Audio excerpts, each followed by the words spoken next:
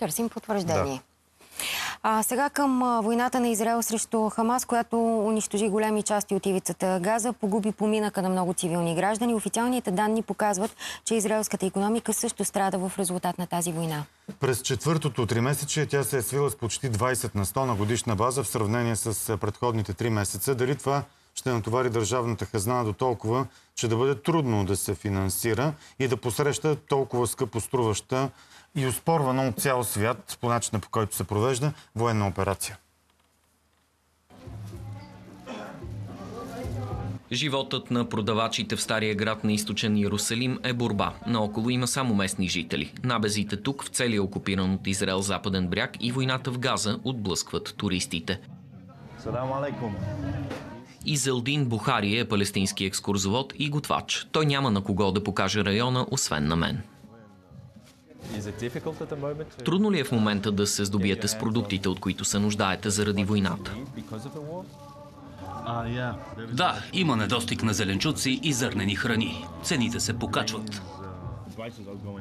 А държавната помощ не покрива това. Туризмът е от ключово значение тук, наред с селското стопанство и строителството.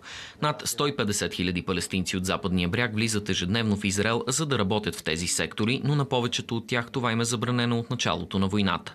Безработицата се покачва, задушава економиката на западния бряг, предизвиква вълнение и създава шок в предлагането за израелската економика. Палестинският таксиметров шофьор Арафат Шарабати е без работа от 7 октомври. Ситуацията е толкова трудна, че децата ми помагат за покриване на разходите за живот. Имам деца, които са омъжени и работят и междувременно ме подкрепят. Някога той е пътувал по 45 минути между Телавив и Иерусалим няколко пъти на ден или до градове в западния бряг, но казва, че повишените мерки за сигурност там са направили непоносимо едночасовото пътуване в двете посоки.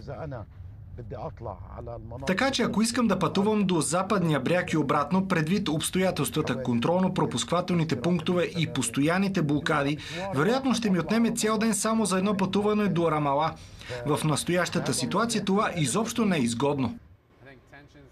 В Бейт Шемеш, централен Израел, Дани Шапиро казва, че заради терористичните атаки на Хамас първоначално е затворил пивоварната си. Консумацията на бира спадна много бързо, защото, знаете, това е едно от първите неща, които биват ударени. Така че производството ни спадна, бих казал, с над 80%. Вместо да съкрати персонала, той им намира работа във ферми на юг, иначе обслужвани от чуждестранни работници, които са избягали. Помагахме им да берат манго, ананас и питая. Дарихме труда си и работихме с ръцете си. Когато свършихме, купихме част от продуктите и всъщност направихме бира от тях. Точно когато израелците се връщат в баровете и ресторантите, търсенето се възстановява. Економиката може да нарасне през тази година и да се възстанови през следващата, ако конфликтът бъде ограничен до газа. Не мога да понасям живота си в момента, като ставам свидетел на това, което се случва по новините всеки ден, на това, което се случва в Газа. Изелдин е критичен към израелското правителство, но все пак има основание за надежда. Виждаме, че това, което се случва тук, в тази страна и политиките ни тласкат на някъде, но чувствам, че натискът на международната общност ще успее, за да се случат някои неща. Но ако войната се проточи, економистите предупреждават за огромни щети за палестинската и израелската економика. Да, още от репортажите на Deutsche Welle, неделя след обед 16.15 по нова